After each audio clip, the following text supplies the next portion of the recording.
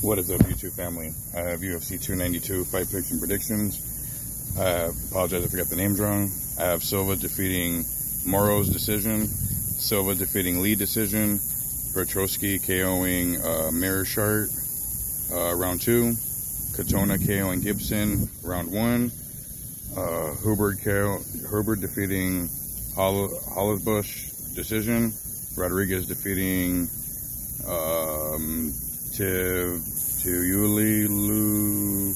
I Rodrigues winning by decision. I have Weidman KOing Tavares round two. Vera defeating Munhoz decision. Blackshear KOing Bautista round one. Garry KOing uh, Mashi round one. Zhang defeating Lemos decision. Um, if Sean O'Malley's going to win, it's going to be by first round knockout. But I personally think um, Aljamain Sterling, he's going to ragdoll him and submit him in the third round. That's my personal opinion. Um, that being said, hopefully all the fighters and everybody don't get injured and all the other good stuff. Day number two of Hurricane um, Hilary. We've got everything all tied down back there and everywhere's just preparing. California's first hurricane, everybody, so we're doing the best we can.